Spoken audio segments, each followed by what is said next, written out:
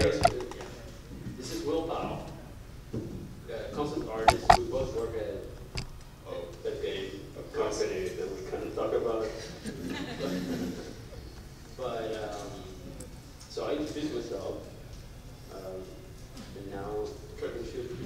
Sure. Hey guys, uh, my name is Will. Uh, I'm a concept artist, illustrator, character designer. Uh, I've worked uh, almost six years in the game industry. Um, I worked on collectible statues for Prime One Studios. I've um, done freelance work for Call of Duty, Apex Legends, um, Legends of Runeterra.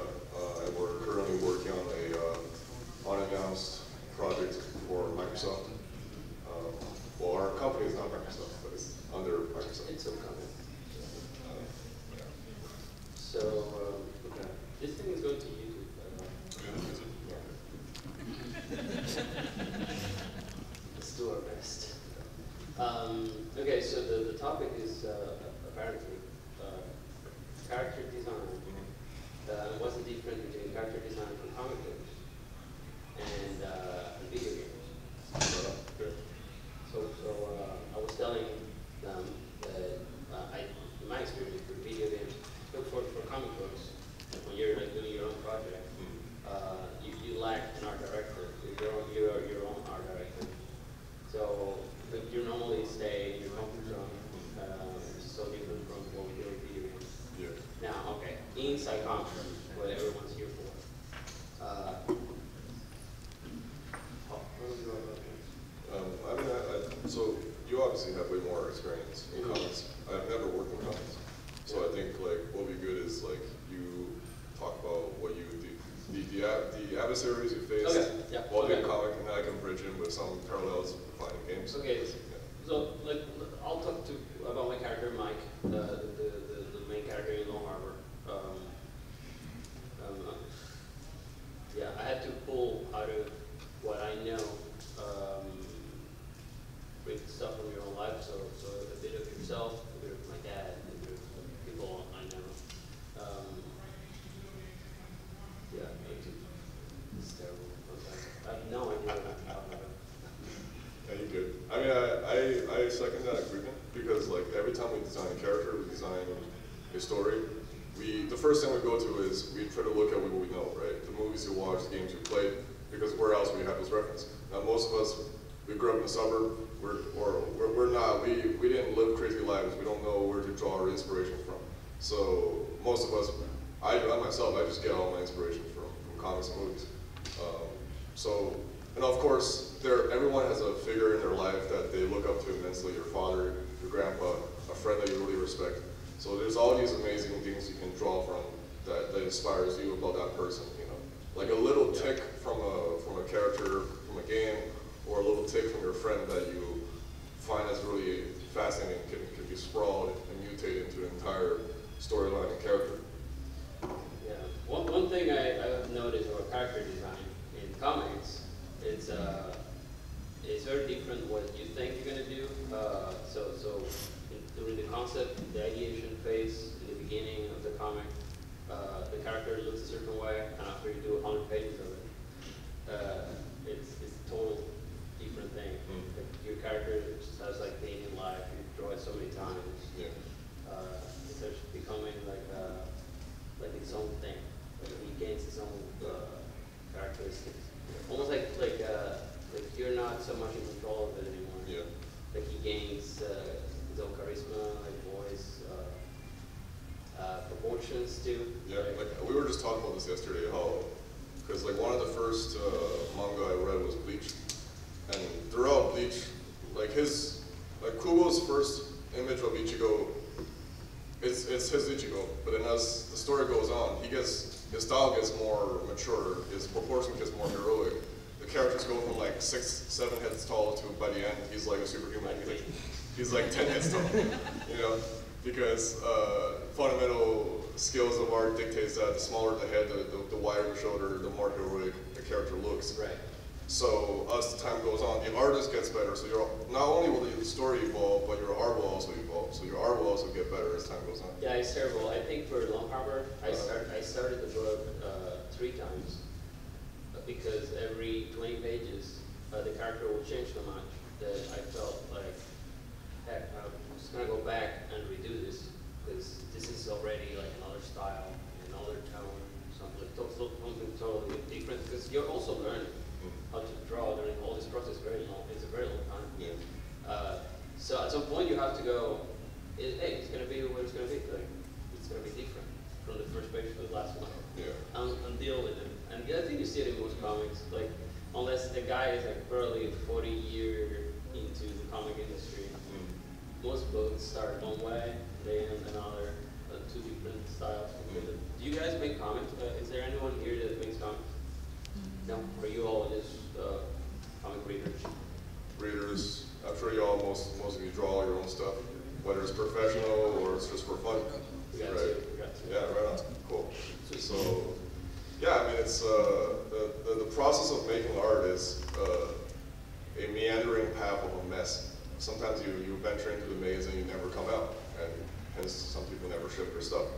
And, uh, I'm certainly guilty of this, because I've made art, artwork that I've written stories and I've done stuff of my own after work that never went anywhere, purely because I got lost in the sauce, you know, like you, you, you know, you don't, you don't, yeah, you get lost in the sauce. You, you fall in love with your own characters too much. You, you hold the, the first two, three things that comes to your mind too precious. You know, you're like, oh no, but that's, after like two weeks, you're like, no, no, no, that's what the character is about. Uh, this, this is how it's gonna be. It's like, no, you, you shouldn't do that. Like every single egg that you lay in terms of idea needs to get smashed and be tested, you know, or, or else like you can never, every new idea you have is just a stepping stone for the next one. Because as you grow as a person over the years, Yeah. your understanding, your maturity and taste in art will, will change as well and get better. Is that the whole like kill your babies thing? Like Yeah. kind of. Yeah. Sorry. Uh, yeah, it- that's that's a very uh, uh, common thing in, in the art industry. Like I, I think most, most people, like creative people, um, you have to to be able. Okay, that was your first OC. You'll see there's a lot in like old DeviantArt. Hey, bro, this is my OC. Uh, draw my OC, and people can get stuck on in, in, on that, which it was the first character you made that was probably based on another character you really loved. So they're almost like a clone of it Yeah. and you stick with this character for the next 10 years. Yeah. Um, and you don't kill your baby, you gotta murder him. Throw him in the garbage. And like get out of your comfort zone and bring something new, something, something that, that is yours. Uh, otherwise, I would just stick to uh, more like Naruto type of postings, you know. Yeah. Yeah. The, yeah, those gotta go. Uh, sorry. But there are valid, like, there, there's a reason why people gear towards those things, right? Like, there's a reason why you think people think Naruto is cool. There's a reason why certain anime characters are very appealing because their story arcs has been tried and tested. So this is where it kind of veers away from the art side about how good you are at drawing towards how good are, is your understanding of, of character writing, right? All these characters, they all follow the typical hero's journey route. You know, Right. they, they, they, they go through a trial and error process of uh, discovering who they're supposed to be, denying it, rejecting it, learning to be that person, failing, failing, succeeding, and then triumphing.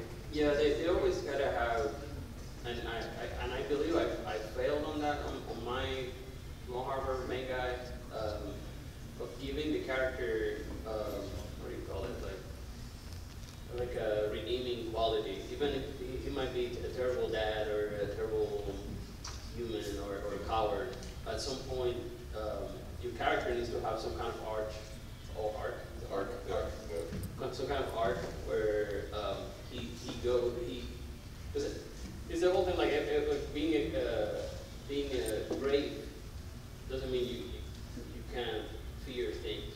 You, know, you fear things. That's why you're brave because you get over it. And so so that's that's what your character should have.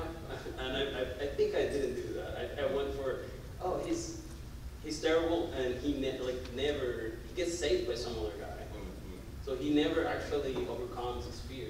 Uh, he never becomes brave. Only at the end, and it's saved to like to be continued for the second story. Mhm. But don't do that. Uh, like your character in your main story, it's the guy you're following, should have some morals, some some like um,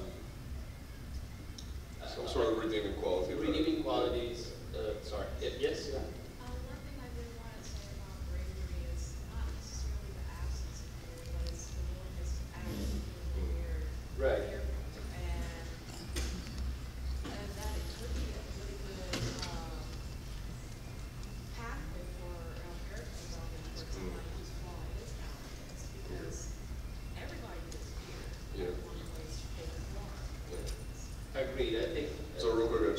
If you guys didn't hear what she said, she said, um, you know, cowardice and and flaws in the character is, is, in- they are integral pillars to building a relatable character, right? So it's not exactly like bad that your character has irrede- irre- uh, irredeemable traits, but it's also, it's, it needs to also be balanced, right?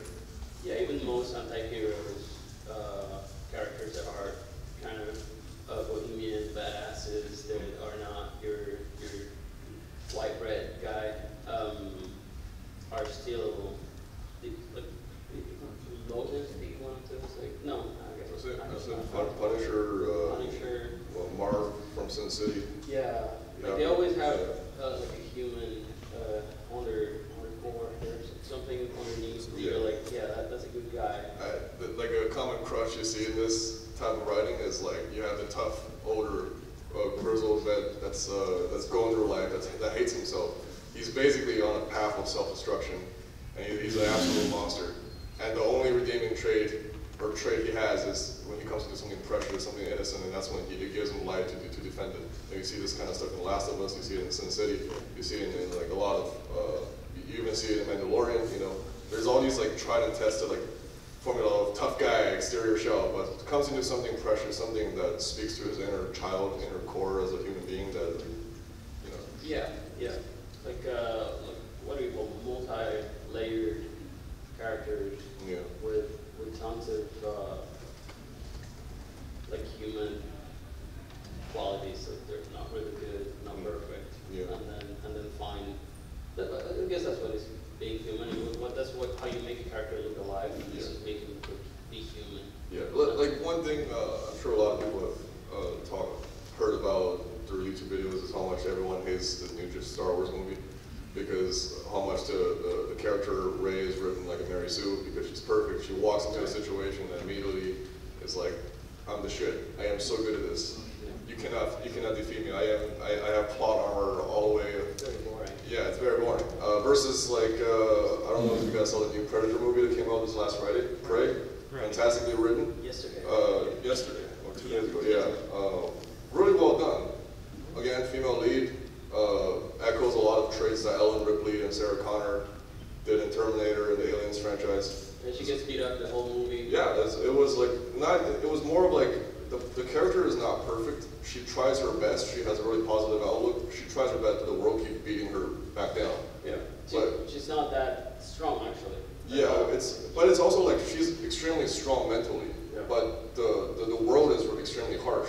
So the little victory she has along her way, her trials and errors that she makes as she goes through the movie, and, and her final victory at the end, it's it feels very earned because it, it, it relates and comes back so much to, to our own lives where we fail like 90% of the time and we only get that one moment of success, you know. And, and those things I feel like also needs to get echoed in stories versus constant success, plot convenience, plot armor. Like these are all the things um, you need to also watch out for if you're writing your own story or if you're just watching and criticizing That's my beef with the like Superman type of characters. Mm. Like the, It's hard to write. yeah, it's gotta be hard to write. It's It's gotta very- be also they're bo- uh, they're on well, to me they're, they're boring.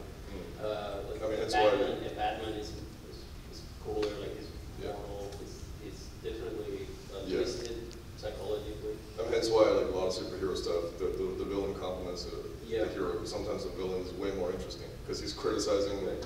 the hypocrisy of the hero, right? Um, what was I going to say? There was another uh, thing I, I remember learning about in writing where you don't, you don't, if you're writing an outline, you don't write, this, this happened, and then this happened. Like that's like one of the worst ways to write because you're just letting things consequentially happen without something interconnecting. So what would be the, the correct way to write a character arc would be this, this happens, but because this, then this. You know, uh, so Like everything is cause and effect. Yeah, yeah. Yeah, yeah. Um, so then your next plot plot point comes in not because of external forces. Now those external forces can impact your character's growth and, and their trajectory, but uh, they're having a character be an active force in the world also helps their journey feel more cemented. You know, like for you as an audience, you connect more because you're like, right on, I'm there with you. This is a first-person story, uh, you're making decisions, I'm following along. I'm not just getting side, uh, sidewinded by like random events coming in. And that's kind of what I found missing from a lot of today's blockbusters is that uh, a lot of stories do have that quality to, to them where the characters are in a roller coaster ride. Uh, I- hence why I feel like, oh yeah, sorry. Um, I would say that, um, writing points are, will translate, you know, pretty well in both comics and video games, and at least in some, um, some creative form. I mean, you've got formatting and that some technical stuff. But what are some things visually that would be expected in a comic book versus a character, uh, for a video game, and what things don't translate to the other? Visually. Visually, okay. You can start, I can. Okay, I would say in a video game, what I go for, well, first of all, is the practicality. of You're gonna draw the character many times, so you need to, uh, be Co- This is for comics? for comics. For comics, Yeah, okay, comics. okay, I'm so going comics. to, to see how, how different Okay, is cool. the process. Yeah. Um, so, first step, you will draw your character the way you think you want it, and then you'll draw it four, or five more times completely, and see which corners you can cut, uh, which things you, you can maintain that were part of what made that character look the way you want in the, in the first sketch, which is normally too complex, because you still don't know where you're going. And then, okay, I want to keep that quality, that, that, that, maybe that, uh, the wide shoulders, maybe he had like pocket lines here that, that I think it, it makes him look a specific way, and I want to keep that. So maybe you don't have like three lines and a button, you have like just two little lines. Yeah. But you start simplifying your character, almost like they do on, uh, on, uh, logos, like, lo- look, you, you know, all logos are very complex and they slowly start going, it's, you know, it's just an I, I'm sure you guys have seen the, the meme of like Fire, uh, Firefox logo slowly evolving over the ages till the fox is just completely gone and it's just like a little red tail. So that's what you're trying to do, Yeah, yeah. uh, for your, like, you're trying to force that. Unless you are uh, Katsuhiro Otomo or Kentaro Miura, then you actually hate yourself and you, every frame is takes like three months to draw. Yeah, yeah, which is something you don't want, I, unless you're trying to say, like, pr- prove people that you can draw very well and, and have all the time in the world. Uh, people read comics very fast. They like a panel is looked at for a second, maybe. Like that's, it's just as, as, long as you can read the thing properly, uh, it's okay. So one, without getting away from designing the character, one little rule you can do in a, in a page is just render very well your character once, and then the rest is just silhouettes and stuff. People will, people's brain will fill it up because they saw the image the first time. Yeah, we had a conversation yesterday about how the first page makes the, the most uh, visible impact uh, as a character for the audience. So whatever you want to establish early on, you do in the first few pages, and then you can simplify as the time goes on. So you, But, but uh, yeah, so do not get away from the character designing phase. What, what whatever you're designing, uh, going to be repeated over and over in in the in the book. Um, doesn't matter which style you're using, if it's realistic, if it's um, uh, more cartoony, Disney type. But Disney is, uh, I think, the masters of simplifying shapes. Yeah. Uh, Disney characters are very simple. I mean, remember, we're working on like very mature games, like for our day jobs, like extremely brutal, gory, realistic. But our art director, he's constantly taking, open, opening up Google Tabs, showing us like, look at this amazing, look Glen Keane from Disney, look at the stuff he did for Tarzan, look how he's simplifying the flow Yeah. of those gestures, and like, you, you need to always bring that, you can't lose that, like no matter how No, I think realistic. that applies to both. Think Yeah. that applies to video games and. That's great, because it's like, it's Yeah. always uh, interconnected. Yeah, it, at the end of the day, it's a character you're gonna follow, uh, the, wh- uh, whether in a video game or, or a comic book. Um, you're gonna follow it the whole time.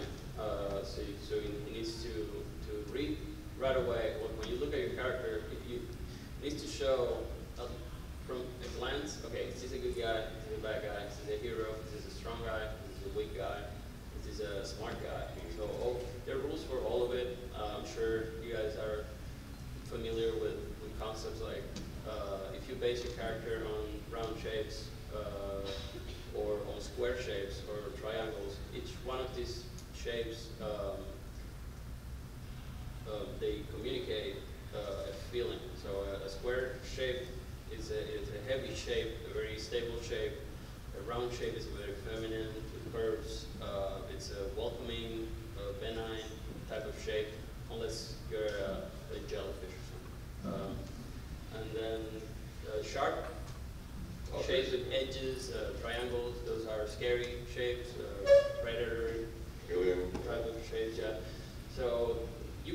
character silhouette and, and, and, and uh, her language, uh, line language, uh, with, based on specific, very uh, geometrical shape. And that, that alone will, will communicate something about your character. Uh, a good example would be, yeah, let's, let's see, uh, The Beast and Beauty and the Beast. Is it, the dude's a triangle, Yeah. tiny, Use Dorito upside down. yeah, yeah, it's a giant triangle, Yeah. big, uh, everything is like, comes from the chest. Yeah, Uh, even his uh, his uh, gown that he puts on later, he's like royal dress, the Yeah, dance. he's spiky, it's Yeah. like, he has like spiky stuff, even the hair is like, it looks like horns. So um, that's a motif. That's a motif. Yeah, so you He's do, wait, what's that saying? He goes, says, you do it once, it's an action, you do it two, it's a, it's a, it's a pattern. You do it three times, it's a motif. Yeah. Yeah, so you gotta repeat these things over and over again. Things. Because, like it or not, us audience, we're not very smart Yeah. at the end of the day, so you gotta like, just keep like hammering on the head till it like, till it sticks, you know? Yeah, a, a, a character, uh, especially the design the character, and that goes for games and, and, and comics. Um, you, you have in, in, in design you have what motifs, Mhm. you have theme, Team. um, and and and uh, well the the would, would the ge- geometrical shapes fall into theme, or or that's something? That's a good question, because in my head, that those two words, they almost mean the same thing. Um, It's just about how much you repeat and, and carry those themes. Yeah, well. Um, Uh, it, it's hard to explain without uh, the visual aid. Yeah. But um, so What's a good example you want to bring up again? like like what what would help someone understand what makes uh, a, a design in a character like uh, how you repeat motifs and patterns in a, in a character to make a good design. Uh, so you would have let's pick a character. Well, Uh, I mean, there are scenes like inside Disney itself, like in movies, like Yeah. if you look at Snow White and you look at, if you guys have seen Robin Hood, the dance scenes are very similar, Mm. right. but they're changing the character as well to fit that storyline. Mm. Yeah, yeah. I guess we're, yeah, I think I think we're yeah because we're focusing on the, on the visual The part, visual design. uh, the visual design. I think you're talking more like narrative, uh, echoing of elements within Yeah, stories. they're or something. echoing the same thing. Yeah, I guess we're, we're talking more about like costume elements, like, Okay. um, say Kratos from, the new Kratos design from God of War, um, how much his design is like, like a, like a theme is saying, uh, a theme is like, okay, he's Nordic, he has, he has, uh, f- uh, fur pelt, he has. Yeah, uh, there- there's gotta be like big elements Yeah. that, that are uh, clearly um, like like when you look at uh, a a dude with a beard and a big hammer, it reminds you of like oh that's a dwarf. Uh, like Yeah. uh, Yeah, that's a dwarf, or that's a, that's a character from a, uh, traditional fantasy. Yeah, like. Nordic. So it echoes a Northern European. right away. Like only two elements. Two like, elements. Braided braided beard, Yeah. big hammer. Yeah. Uh, so, so it, it sounds simple, but it, it's not as obvious. You will see a lot of characters many times that uh, they're communicating random stuff. You're like, oh, he has a gun. He has also a samurai sword and a Deathstroke. revolver. and a revolver. And you're like, yeah, what's, what, Yeah. that's not. I mean, unless you're Trigun, uh, you Yeah. know, that's not a good design. I, I wouldn't say. Um, But then your story needs to support those. you- you- Oh, yeah, exactly. Then you're Yeah. saying it's going to be a samurai world, uh, but a western, right? Right, yeah. So that's it. Like you, if you're doing that by mistake, it's wrong. Uh, but if, if the world follows it, Mm. then it's good design, uh, and, and, and you're, you're communicating the right things. Oh. So so that's something to to to, to keep. Uh, this is not. We're not teaching you guys how to do art, uh, but it looks like it. Um, sorry, go ahead. Hey, so how does it pan out on a day-to-day basis, like when you're creating a character Mhm. or the life for that character, how does emotion play into that? Because say Monday, for instance, you know, you start your character one way with an emotional conscience of you're happy. You come Friday and you're just pissed off at the world. I How see. does that correlate down the road? That's, uh, that's where, I guess, like, it's just professional, Yeah, but, but that's, Attitude you have to in, in comics, that's when having a, a strong, uh, pre-production guideline, mm, that's it. and knowing exactly where you're going. Don't start a comic and, because you're so excited, and you wanna like jump to the final page and, and final look. Uh, do the whole freaking comic with balls, like Stickman.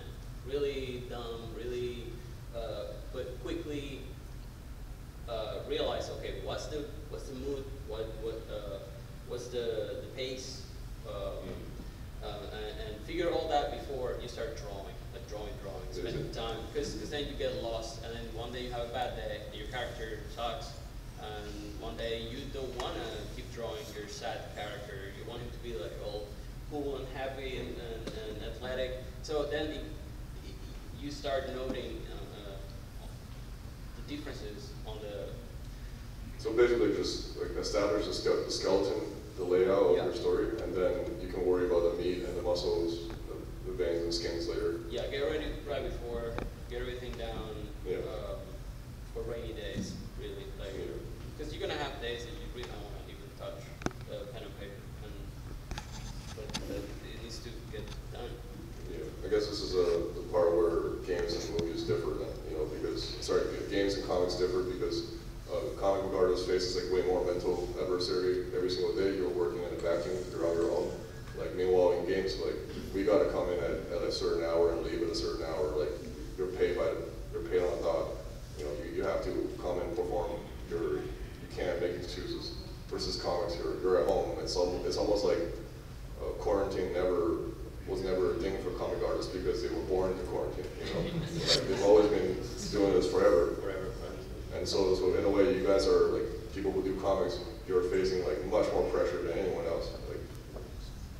manga, art, manga artists.